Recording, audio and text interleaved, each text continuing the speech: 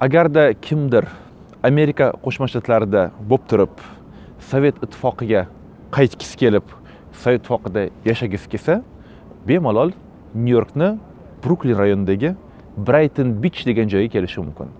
Ayni mana shu joyni nomi brayton bich bu joyda sovet ittifoqidan judayam ko'p immigrantlar bor. Butun amerikada eng ko'p rus tilida gapiradigan insonlar va Э, sobiq sovet ittifoqidan bo'lgan insonlar immigrantlarni soni eng ko'p bo'lgan joy aynan shu brayton bich bu joyni ikkinchi nomi kichik odessa ya'ni e, little odessa. O'zi bu rayonni albatta amerika qo'shma shtatlari e, demak sovet ittifoqidan bo'lgan immigrantlar uchun emas ya'ni muhojirlar uchun emas balkim asosiy maqsad boshqacha edi. Bir ming sakkiz yuz oltmish sakkizinchi yilda amerika qo'shma shtatlarini e, demak rahbariyati tomonidan shunaqa bir qaror qabul qilingan. Bu yerda dunyoni eng chiroyli kurort zonalaridan birini birini yaratish. Chunki nomi ham shunga yarasha bo'lgan. Brayton bu buyuk britaniyadagi eng zo'r kurort zonalaridan biri. Maqsad yevropadan kelgan barcha sayyohlarga turistlarga mana shu e, demak e, plyajlarni ko'rsatib chunki bu yerda mana ko'rib turibsizlar atlantik okean mana marhamat bu atlantik okean mana shu yerda demak dam olib bu yerda shunga yarasha mehmonxonalar qurilgan restoranlar kafelar marhamat atrofda.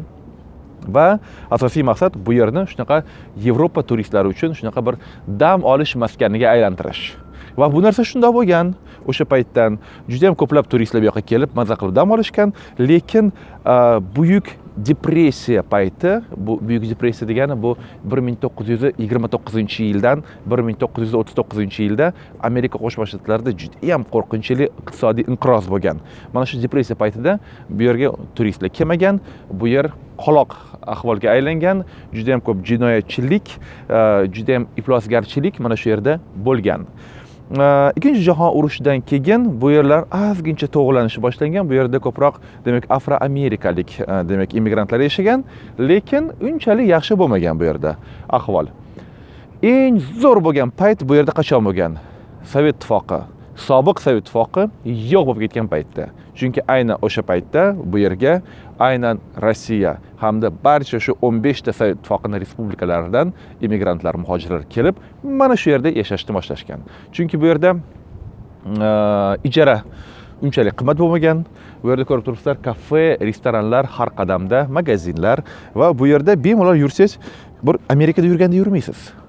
Hamma yoqda yo rus tilida yo o'zbek tilida yo qozoq tilida yo turkman tilida yo qirg'iz tilida lekin ko'proq rus tilida gapirishadi bemalol shu bundan oldin aytib o'tganimdek agarda shu sovet ittifoqini hayotini ko'rmoqchi bo'lsanglar mana shu brayton bichga kelib ko'rib ketishinglar mumkin. Endi natijada mana shu yer hozirda eng yaxshi joylardan biri ya'ni amerikani o'sha nyu yorkni. Chunki bu yerda demak tadbirkorlar juda yam ko'p aynan rossiyadan kelgan tadbirkorlar. Bu yerdagi mana uylarni ko'rib turibsizlar oligarxlar demak boy odamlar san'atkorlar sotib olgan. Bu yerda ko'plab kinolar olingan. Bir ming to'qqiz yuz o'n oltinchi yilda olingan romeo va julietta kinosini ko'rmaganmisizlar? U kino aynan shu yerda brayton bichda olingan. Brat два agar kinosini ko'rgan bo'lsanglar o'sha bodrov bosh rolida e, mana shu kino ham shu yerda olingan. Lekin mhm, eng mashhur bo'lgan kino menga eng yoqtirgan kinoim bu kinokomediya bir ming to'qqiz yuz to'qson ikkinchi yilda на дерибасовской хорошая погода на брайтон бич опять идут дожди kinosi mana shu tatyana kafesida olingan.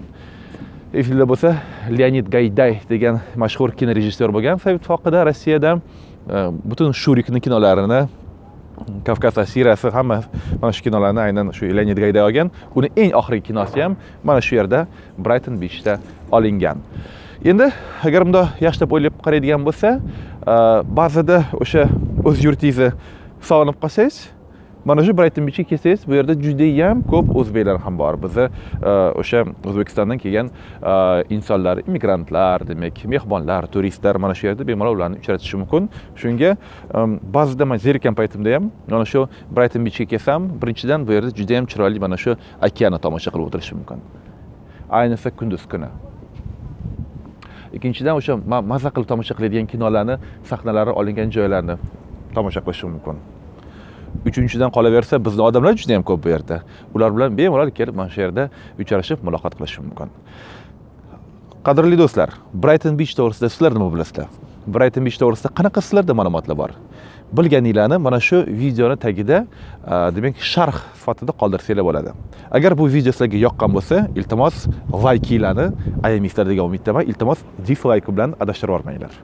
Agarda mana shu video sizlarga yoqqan bo'lsa va umuman videoroliklarim yoqayotgan bo'lsa demak meni youtubedagi kanalimga mister otabek tv deb nomlangan kanalimga obuna bo'lasizlar degan umiddaman.